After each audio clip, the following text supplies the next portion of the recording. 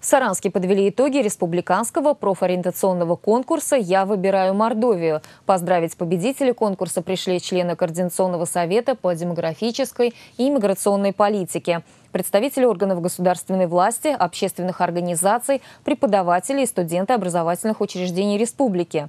Учиться и жить в Мордовии сегодня выбирает все больше молодых людей. В этом году в техникумы, колледжи, вузы поступили более полутора тысяч студентов из 52 субъектов России, стран ближнего и дальнего зарубежья. Большинство приезжающих выбирают МГУ имени Огарева, школьники – Республиканский лицей для одаренных детей. За успехи в профориентационной работе награды получили представители мордовских культурных центров Нижегородской, Ульяновской и Пензенской областей – преподаватели мордовских вузов. Им вручили дипломы и денежные премии.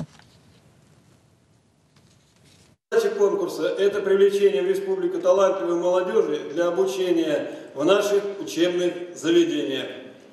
И сегодня можно сказать, что цель нашего конкурса, она достигнута. В республике сложилась стройная система взаимодействия с регионами Российской Федерации, которая имеет мордовские диаспоры – по привлечению в нашу республику выпускников школ.